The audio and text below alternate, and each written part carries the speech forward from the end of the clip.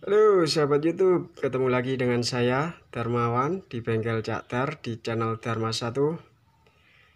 Oke, pada hari ini bengkel Cakdar ada servis ya, penggantian evaporator Chevrolet Spin ya. Untuk mobil Chevrolet itu rata-rata ya, kebanyakan dari mobil Chevrolet itu pembongkaran evapnya itu ribet ya. Pembongkaran evap itu harus banyak yang dibongkar ya. Apalagi bongkar evapnya uh, Chevrolet Captiva ya. Itu bongkarnya banyak dan ribet susah ya. Ini yang harus dibongkar ya.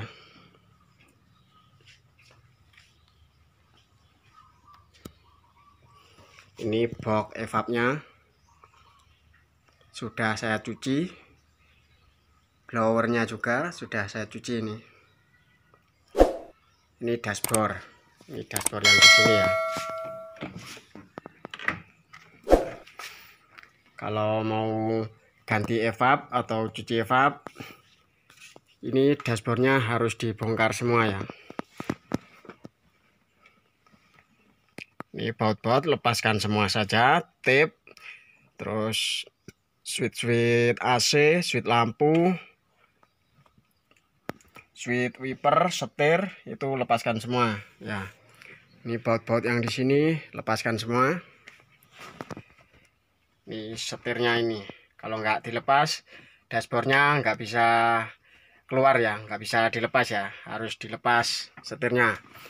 Kalau habis ngelepas setir, jangan lupa ini kabel spiral ya namanya. Ini mending diisolasi ya. Takut nanti ini muter. Ini kan bisa muter. Takut ini muter waktu masang nanti salah posisi kabel spiralnya bisa putus ya. Mending diisolasi. Terus jangan lupa lepas ini juga. Intermediate setirnya ya. Yang ke power steering bawah ya ini intermediate-nya asnya lah namanya as ke cross jointnya setir itu. Itu dilepas. Kalau nggak dilepas nggak bisa nggak bisa ditarik ini ya. Ini harus dilepas semua ini ya. Hmm.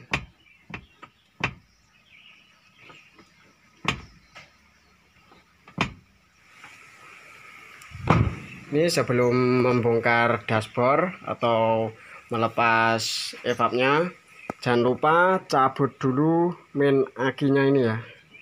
Main akinya dilepas uh, freonnya dibuang ya. Freonnya dibuang. Jangan disimpan lagi ya freonnya jangan dimasukkan tabung lagi. Soalnya freon kalau sudah gini biasanya kotor. Kalau dimasukkan lagi nanti nggak bisa maksimal ya. Nanti cepat rusak lagi ya freonnya dibuang ya. Setelah freon dibuang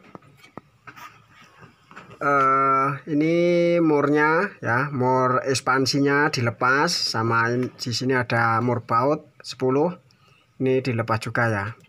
Ini murnya 13 terus di sini juga ada mur juga ya nah, yang di lubang itu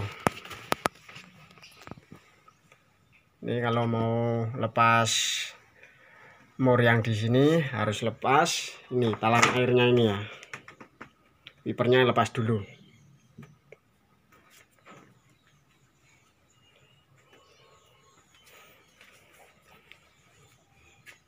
Kalau mau lepas evapnya Chevrolet itu kunci-kunci harus komplit ya. Harus harus punya kunci yang komplit yang lengkap soalnya kuncinya ini bervariasi ya macam-macam ya campur-campur kuncinya itu ada genap ada ganjil ada bintang ada L biasa L bintang pokoknya harus komplit lah kuncinya